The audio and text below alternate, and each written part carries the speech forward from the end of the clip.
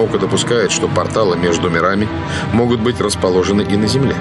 Современные исследователи считают, что входы в иномирье расположены в пещерах, оврагах и ямах места. Есть места силы, есть места очень странные попадания в другое измерение, даже, вот скажем так, попадание в какие-то пещеры. Стоит вам немножечко 3 метра пройти, вот, скажем так, вы прислонитесь к какой-то стене, и вы, попадаете в друг... даже вы в пещеру попадаете. То есть, вот с вами будет так таких местах грань между мирами очень тонка, и иногда за нее удается заглянуть. На физическом уровне они, как правило, представляют собой треугольные области на разломах земной коры с мощной геомагнитной аномалией. Есть такие порталы, есть такие, значит, скажем, ворота в, параллельном двери, ворота, назовем как угодно, оконца, вот, в параллельный мир, где вы можете все увидеть воочию, то есть, что происходило на той или иной территории. Э, например, в Ленинградской области таких мест очень много на самом деле, и именно там, где шли бои, то есть, я не просто слышал, я даже наблюдал такие вещи. Один из самых необычных случаев произошел с Михаилом Филоненко в городке Павловске, прямо посреди Дворцового парка. Был ясный полдень. Вокруг гуляли туристы, бегали по дорожкам дети, сидели на лавочках влюбленные пары. Михаил и его друзья решили сократить путь и сошли с аллеи на узкую тропинку. Неожиданно все вокруг резко изменилось. И вот когда вошли на тропу, каким-то образом, вот э, не бой, но то, что там стояли, скажем так, вот патруль, немецкий патруль, вот это видел я сам. То есть там стоял немецкий патруль. Э, боя никакого не было, ничего. Я даже сомневаюсь, что в том месте мог быть какой-то бой, то есть именно вот в месте вот этого парка. Но то, что там стоял летом, днем, около 12 часов дня немецкий патруль в полной форме. Это я увидел. Это, было, это был просто ужас. То есть, и они смотрели на нас. Немцы явно заметили Михаила и его друзей, однако никаких действий не предприняли. Ребятам удалось хорошо разглядеть жесткие, даже жестокие лица фашистов, их слегка помятую, не слишком чистую форму. Несколько секунд русские парни и немецкий патруль смотрели друг на друга. Шаг обратно на дорожку, и картинка снова резко изменилась. Вокруг снова сияло солнце и гуляли туристы. Сперва я подумал о том, что, может быть, снимается какой-то фильм, может быть, еще что. Ничего-то подобного не было. Не было никаких рядом, не, скажем, не, никакой, значит, машины, никакой, скажем, ничего, ничего не было, никакого света, ничего, что ознаменует съемки с собой. То есть, это, это были не съемки, это был конкретно Михаил уверен, это не было миражом или галлюцинацией. Скорее всего, друзья случайно заглянули в портал между мирами. Однако заветные грани, к счастью, не перешли. Иначе все могло бы закончиться гораздо хуже. Я не знаю, что бы было дальше.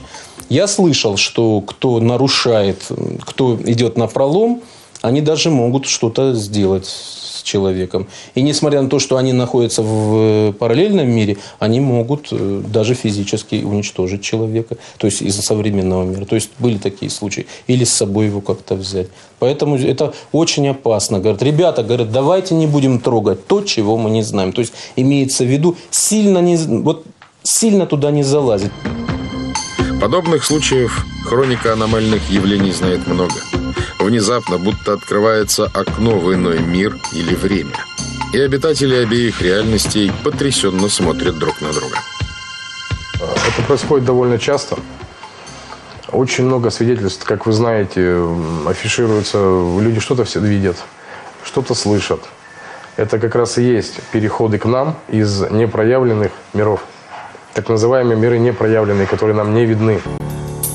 Исследователь Николай Кочуров полагает, что создать искусственный портал в другой мир невозможно. Все переходы только природные, и управлять ими человеку не под силу. Однако некоторые люди больше остальных чувствительны к подобным явлениям. Иначе как объяснить тот факт, что некоторые из нас с другими мирами сталкиваются неоднократно?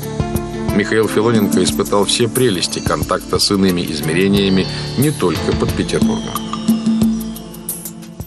И вот в Северной Осетии э, есть такое Равское ущелье. И там есть городок мертвых. это городок мертвых, который видно. Его видно, вот э, когда едешь, его видно, что он вот э, там, значит, вот на гора, стоит прямо на горе. Вот.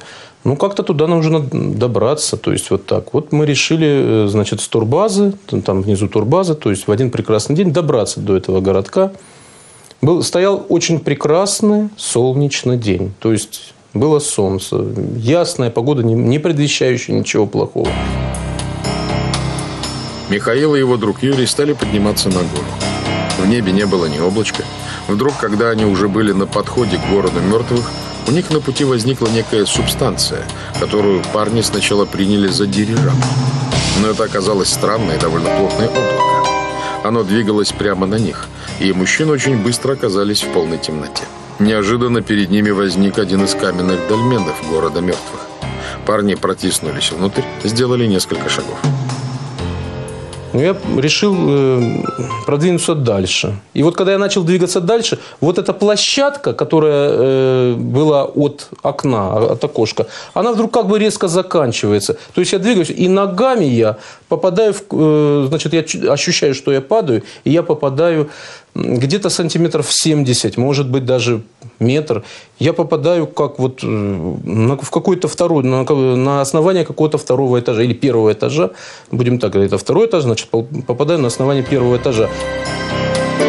Михаил провалился в странный красно-серый кисель, в котором плавали чьи-то берцовые кости. Пугающая тишина стояла вокруг.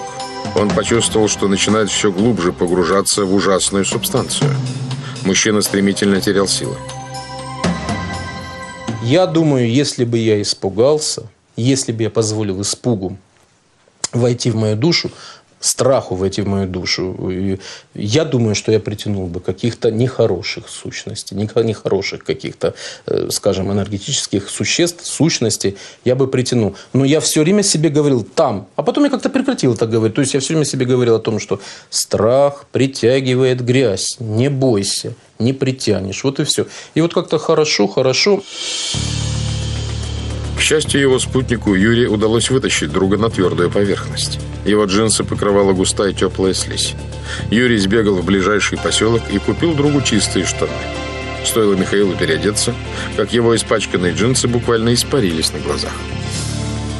И вот мы спустились, вот когда мы уже э, дошли до турбазы, и на нас дико посмотрели, то есть нас, вот тогда уже нас никто не искал, но когда мы пришли, то есть в ужасе, я помню, что вот это вот, эм, значит, администратор турбазы, она вот открыла, боже, вы живы, то есть вас уже, мы искали вас уже в первый день, а уже-то прошло три дня, то есть трое суток уже прошло, не три дня, трое суток, вот. То есть прошло трое суток, а на наших часах было 4 часа. Ну, то, что прошло 4 часа.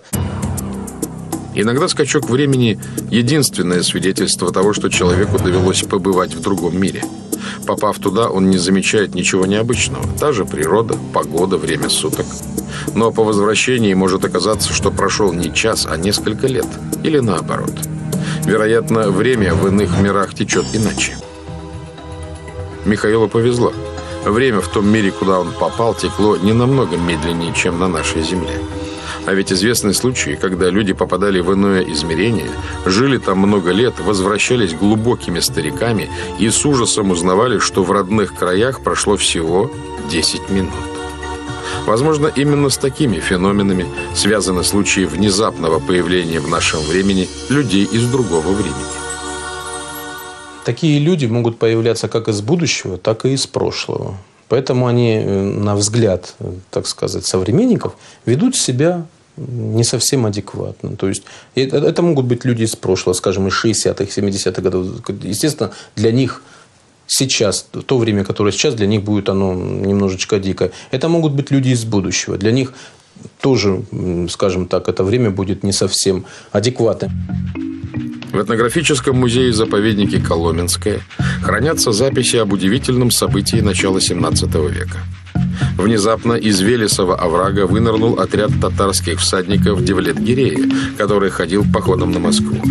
Татары под пытками показали, что во время сражения они пытались скрыться от врагов во враге, где попали в странный зеленоватый туман. Провели в нем несколько часов, а наружу выбрались через 50 лет. Еще одна загадочная история – это исчезновение двух крестьян, которые еще до войны с Наполеоном ночью отправились через этот же Велесов овраг в соседнюю деревню воровать яблоки. Попав в зеленоватый туман, они вышли из оврага через 21 год. Мы думаем, что это другое измерение, может быть, это, это Земля, но это, по сути дела, попасть на другую планету. То есть есть такие места. Я сам исследовал несколько таких мест. Они есть на Алтае, они есть в Ростовской области. Это в Ростовской области несколько, несколько таких мест. Это просто даже странно и очень даже страшно, потому что есть места, есть такой там город Аксай. Вот там в Аксае это, и в Азове, и в самом даже Ростове. И таких странных мест на территории России немало. Они разбросаны по всей стране, в полях, в горах, в лесах и в городах. Куда переносятся люди через кротовые норы? В параллельный мир или в иные вселенные мира нашего? Или же не нашего, а темного? Ведь если мы не можем видеть темную материю, то и населяющие ее существа точно так же не могут видеть нас. Однако в некоторых ситуациях контакт, вероятно, все же возможен, но лишь на энергетическом уровне.